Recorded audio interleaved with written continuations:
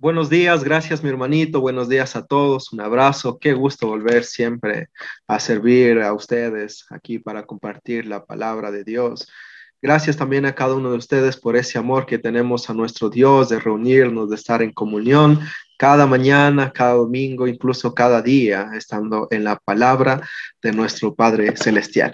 Les invito, mis queridos hermanos, a abrir nuestras Biblias en el Evangelio de Juan el Evangelio de Juan en el capítulo 14. Mientras alistamos nuestro pasaje de estudio, es muy difícil cuando hay obscuridad poder seguir adelante. No mirar el camino eh, conlleva muchos riesgos de que nosotros nos perdamos, de que nosotros resbalemos, caigamos, corremos muchos peligros si no sabemos para dónde debemos ir, si no sabemos cómo debemos hacer. Nos va, nos, es muy probable, es totalmente cierto de que no vamos a llegar al destino al que nosotros tenemos planeado llegar.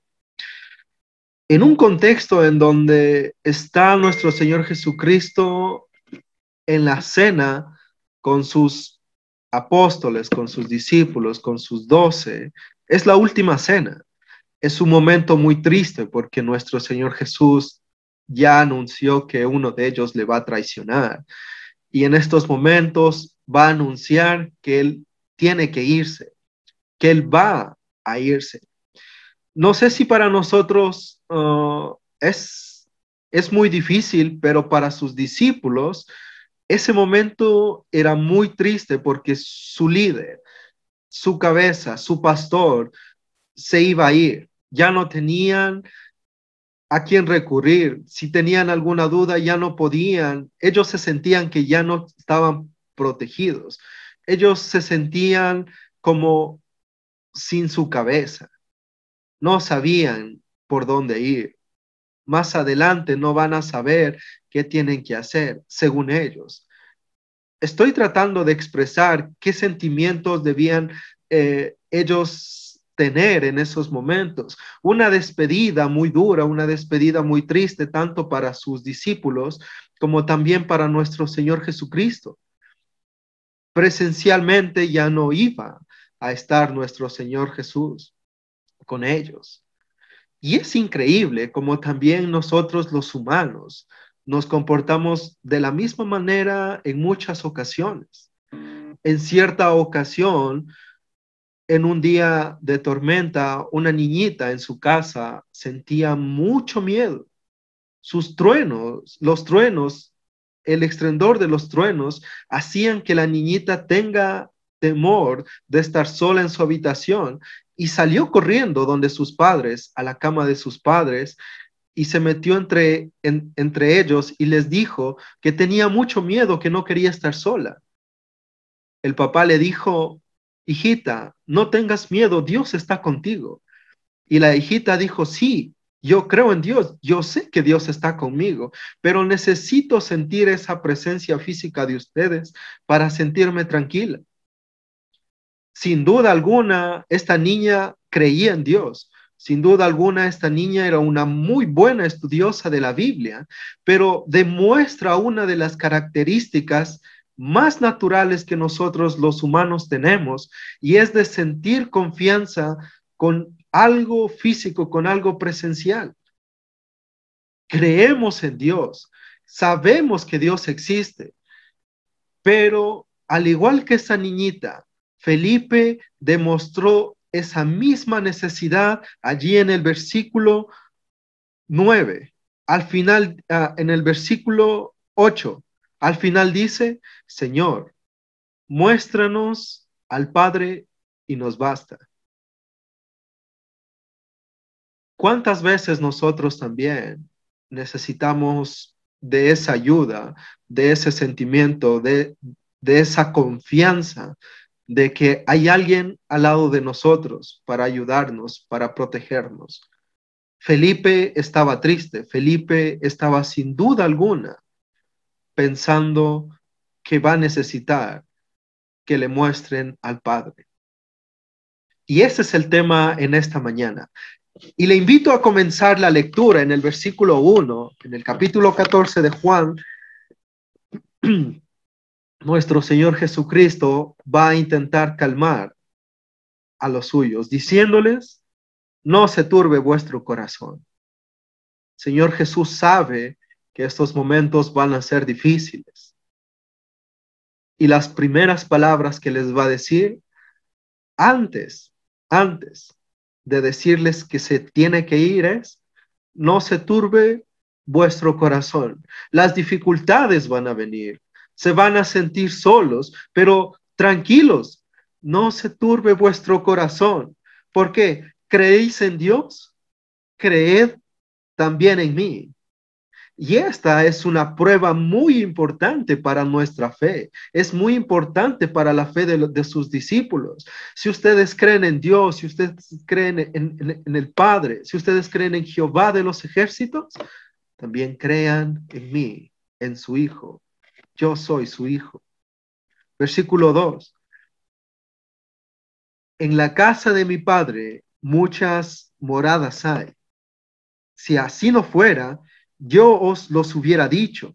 Voy pues a preparar lugar para vosotros.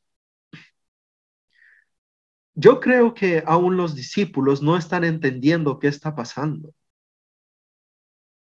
Está diciendo Jesús, en la casa de mi Padre muchas moradas hay, pero tengo que irme, pero tengo que irme para que vosotros también vengan donde yo voy a estar. Y lo cierto es que nosotros entendemos que sin el sacrificio de nuestro Señor Jesucristo, sin ese acto honorable de Él, es imposible que nosotros seamos llamados primeros hijos de Dios, que seamos coherederos con Él, a esas moradas, a esa propiedad de nuestro Señor, de, del Padre. Y esto debe llamarnos mucho la atención. Nuestro Señor Jesucristo está pensando en el cielo. Nuestro Señor Jesucristo está pensando en moradas celestiales. Y sus discípulos, sus hijitos, ¿en qué estamos pensando en los momentos difíciles? Estamos pensando allá en el tesoro que nuestro Señor Jesucristo fue a preparar, en la morada que nuestro Señor Jesucristo fue a preparar o en qué estamos pensando. Nuestro Señor Jesucristo lo único que tiene en mente es las moradas celestiales y les dice a ellos, yo voy pues a preparar moradas para ustedes. Voy a preparar moradas para ustedes, no se turbe vuestro corazón. No importa lo que va a pasar más adelante, el dolor que ustedes van a sentir, la persecución que van a, a sufrir, el rechazo que van a, pasar, no importa eso. Yo voy a preparar moradas para ustedes, para que ustedes vengan a vivir conmigo en las moradas de nuestro Padre Celestial. Eso es lo que tiene en mente nuestro Señor Jesucristo. Toda esa herencia incorruptible, inmarcesible, preparada para todos aquellos que son seguidores, que creen en nuestro Señor Jesucristo. Y eso debe ser de mucho aliento hoy en día también para nosotros en medio de las dificultades. No se turbe vuestro corazón, tenemos una morada celestial. Nuestro Señor Jesucristo nos los ha prometido para cada uno de nosotros. No se turbe vuestro corazón. Si me creen en mí, crean que tienen una herencia incorruptible, que tienen una morada celestial junto a mi Padre. Eso es lo importante, creer en eso. Lo demás, lo demás no importa. Lo que va a pasar no importa. Lo que importa es que un día ellos iban a vivir, ellos van a vivir en la morada celestial con nuestro Señor Jesucristo. Amén. Versículo 3.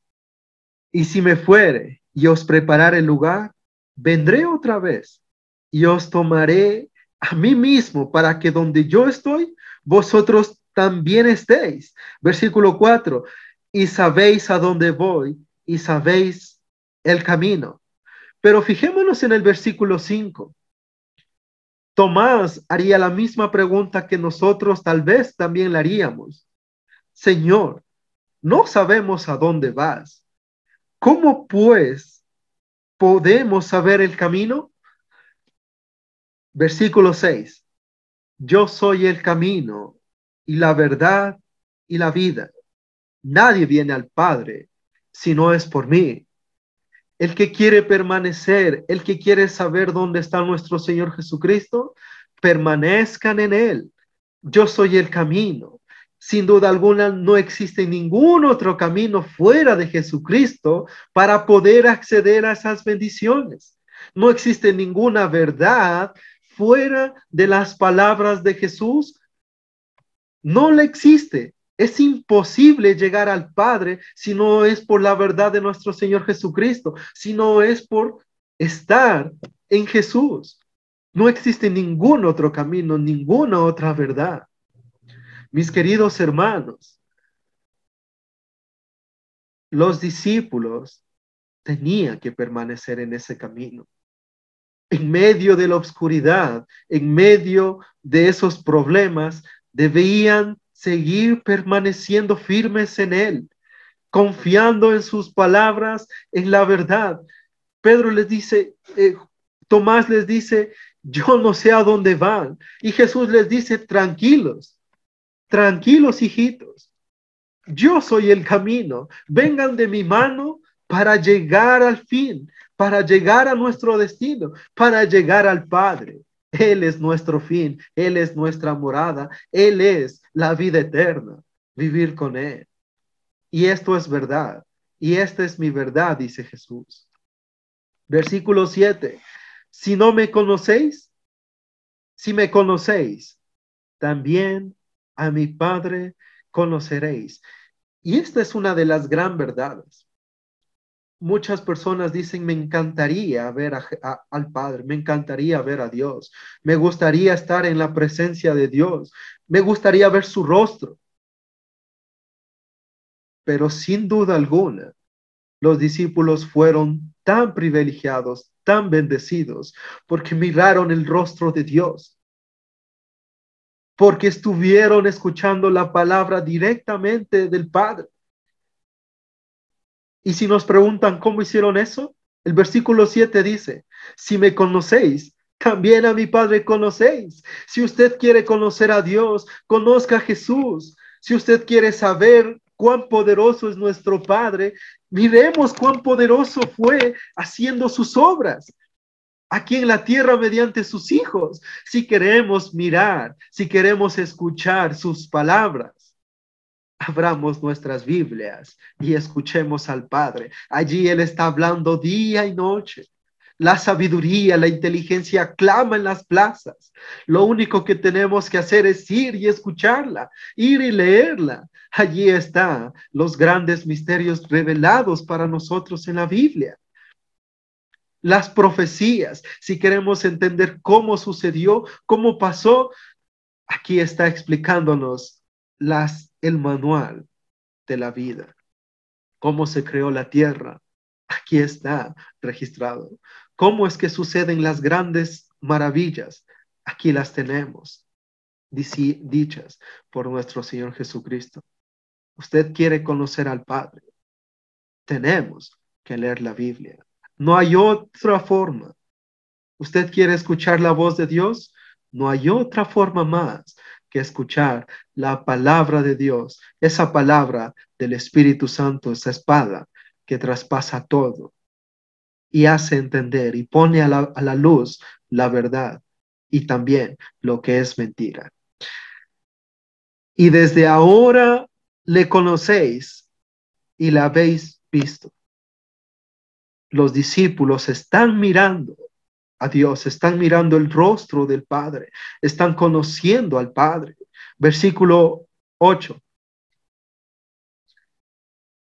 Felipe aún no había entendido. Felipe aún no ha comprendido que mirando a Jesús, que mirando sus obras, escuchando sus palabras, es mirar y comprender al Padre y le dice, Señor, muéstranos el Padre y nos basta. Felipe está pidiendo una evidencia física. Felipe está pidiendo mirar al Padre de una forma física, de una forma muy humana. Es una de las acciones más naturales de nosotros los hombres. No estoy justificando a Felipe, estoy comprendiendo a Felipe. Él quiere mirar a Dios, él quiere sentir a Dios, tal vez él quiere sentir un abrazo en esos momentos tristes de Dios, algo muy natural de los hombres. Y Jesús le va a responder, versículo 9, tanto tiempo hace que estoy con vosotros y no me has conocido, Felipe. Tanto tiempo que estoy con ustedes. Felipe ya miró cómo hizo los milagros, cómo dio la vista al ciego de nacimiento, cómo levantó al paralítico. Felipe ya miró tantas obras de nuestro Señor Jesucristo.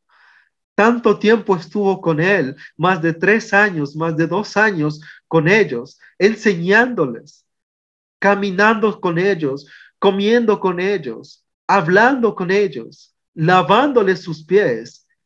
Y aún así, entre todo ese tiempo, no le ha conocido Felipe. El que me ha visto a mí, ha visto al Padre. Felipe, ¿quieres mirar al Padre? está delante tuyo. Delante tuyo, Felipe, está el Padre. ¿Cómo pues dices tú, muéstranos al Padre? Y es una reprensión para Felipe. Estás con el Hijo de Dios y aún así pides que te muestren al Padre. Yo soy el Padre, dice Jesús. Y eso llama mucho la atención y me deja una enseñanza para mí. Si alguna vez yo me pregunté, si alguna vez yo no confié que el Padre está al lado mío, sin duda alguna Jesús me dice, ¿tú me conoces? Yo estoy contigo, el Padre está contigo, el Espíritu Santo está contigo. Hijitos, no se sientan solos. Hijitos, ¿necesitan un abrazo? Aquí estamos los tres para ayudarles. El Padre, el Hijo y el Espíritu Santo estamos juntos.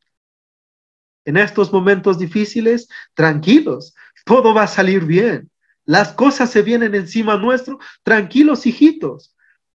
Aquí estamos presentes, aquí estamos para ayudarles en cada uno de sus pasos, para que no se pierdan, para que no resbalen y para que no caigan. Y si ustedes resbalan y si ustedes se caen, aquí estamos. La misericordia, el amor de nuestro Padre es mucha, es tan grande para con nosotros. Estamos listos para ayudarles. No están solos. No se sientan solos. Parece que están solos, pero no es así aquí estamos listos, dispuestos para que ustedes vengan a nuestras moradas a vivir, a alabarnos. Amén, mis hermanitos. Versículo 10. ¿No crees que yo soy en el Padre y el Padre en mí? Puede haber personas que aún sigan dudando de nuestro Señor Jesucristo. Yo sé que ustedes no, yo lo sé. Pero puede haber personas que aún piensen que nuestro Señor Jesucristo no es el Hijo de Dios. Incluso nuestro Señor Jesucristo va a dar estos argumentos muy fuertes. Fíjese, las palabras que yo hablo, no las hablo por mi propia cuenta. Ni una sola palabra de nuestro Señor Jesucristo fue por su cuenta, sino que sino que las hablo por mi sino que el Padre que mora en mí él las hace, Él las obra, Él está obrando. Cada palabra que pronunció nuestro Señor Jesucristo fueron exactamente las mismas del Padre. Exactamente las mismas del Padre. Él las obra. Versículo 11. Creedme que yo soy en el Padre y el Padre en mí. De otra manera, si no me creen por lo que yo los digo, de otra manera, créanme por mis obras creedme por las mismas obras. Todas estas obras milagrosas, que hice, yo no las hice. El Padre está obrando por medio de mí. Él está hablando por medio de mí. De cierto, de cierto os digo.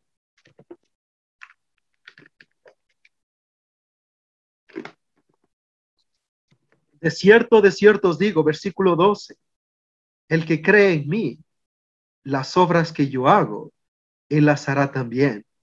Y aún mayores hará porque yo voy al Padre. Porque yo voy al Padre. Y esta es una de las profecías y esta es una de las creencias para, para sus doce discípulos. ¿Creen en mis obras?